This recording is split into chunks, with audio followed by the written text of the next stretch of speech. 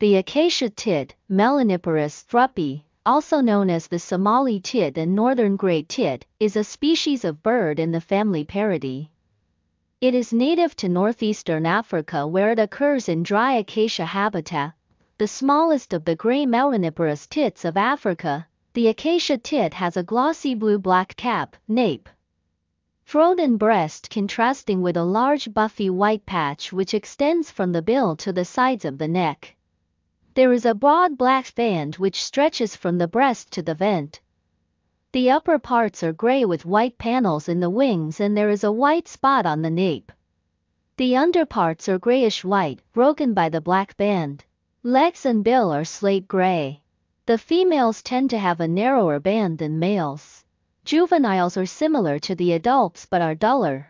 It measures 11.5 to 12 centimeters, 4.5 to 4.7 in, in length and weighs 12 grams, 0.42 ounces. The acacia tit is found from Ethiopia and Somalia south to northeastern Tanzania. The acacia tit was formerly one of the many species in the genus Parus but was moved to Melaniparus after a molecular phylogenetic analysis published in 2013 showed that the members of the new genus formed a distinct clade. It forms a superspecies with the southern gray tit and probably also the Miombo tit and ashy tit. All of these species have been treated as conspecific with the Palearctic great tit but they are not.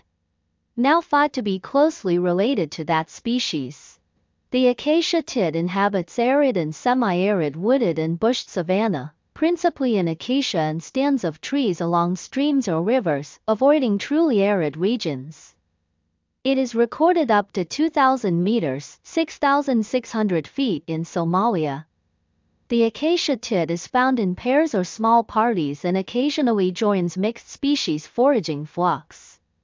The food consists of small invertebrates, principally wasps, beetles and caterpillars.